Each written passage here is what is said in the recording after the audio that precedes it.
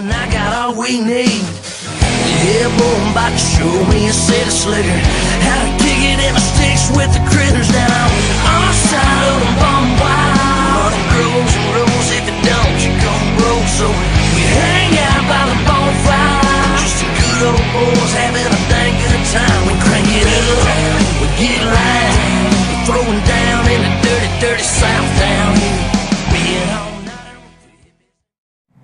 What's up, everybody? It's Jimbo, Team Country Boys Outdoors. Possum, good to see y'all again. Good to see y'all again. Again, thanks for all the subscribers that we got. And uh, last time I checked, I think we was up to like 94. We're closing in on 100, so we appreciate Yeah. we appreciate all of you for doing that.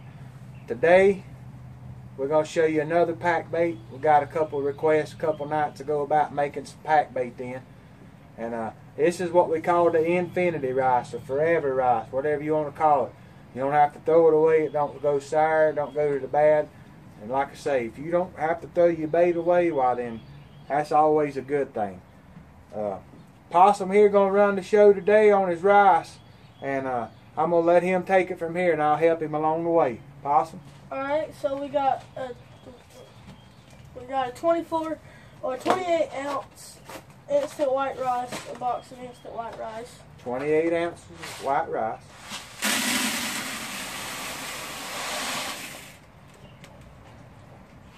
Two 24 ounce bottles of ketchup.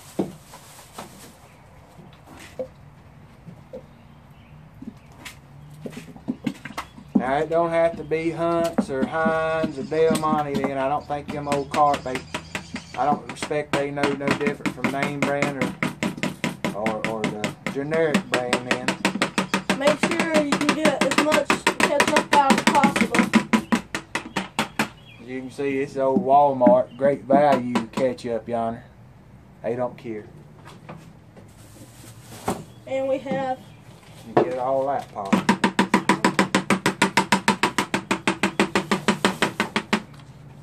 we have a pack of Jello, Kool Aid, um, anything else like that, any flavor you want. Right there then. When you put your Jello, Kool-Aid, or whatever, your snow cone, whatever it is you want to use, well, then just sprinkle it in over top of your ketchup. Or what Possum did, he just poured it all in there. I'm sorry. um, we have uh, Evander Holy, Hol, uh, Holyfield. Holyfield. This is Evander Holyfield. On account of it'll rip a lip open in a minute then. Old man Possum done worked hard on this bait here. This flavor. yeah, So you're gonna go about two to three ounces of it, Possum down to that line good.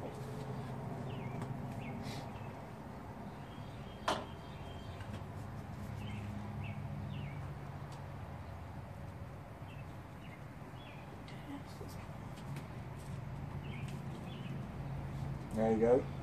Right down to that line. That old Evander Holyfield bait then. And then you got a cup of half Three a three, three quarts of uh, sea salt. three quarters of a cup of kosher salt. And then you just go to town and mix her up.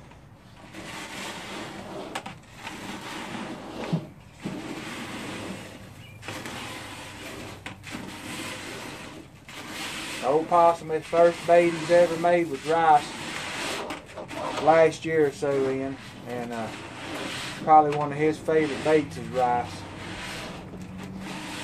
and he's a whooping this up right good. What you want to do, make sure you get that all that white rice covered with that ketchup and your flavoring and your, powdered substance, whatever you're using.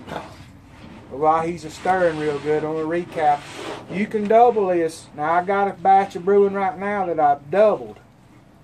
Uh, but it's 28 ounce box of white rice, instant rice, two 24 ounce bottles of ketchup, one package of snow cone, Jello, Kool-Aid, whatever you want to use. They about three or four ounces.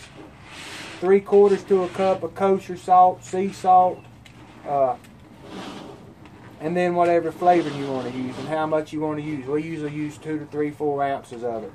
Uh, never iodine salt. If you stay away from that table salt, that's a good idea if you stay away from that. You want to try to go with kosher or uh, sea salt. It preserves your bait longer. Let me check it out, Possum, see what you got there. Leave your hand over the bucket.